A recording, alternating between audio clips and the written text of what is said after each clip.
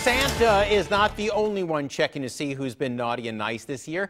Our partners over at Consumer Reports magazine just looked at the policies of major retailers, and today they placed some popular stores on the naughty list. Among them, Best Buy is on the naughty list for requiring a driver's license for all returns, meaning they can store your license information. Also on the list, Amazon.com for raising the free shipping minimum to $35 this year, as well as Fry's Electronics for no refunds on big TVs, and QVC for confusing prices. Now, it also has a nice list, and on that nice list is Lands' End for what returns at any time, and also the Citi Simplicity credit card because it has no late fee.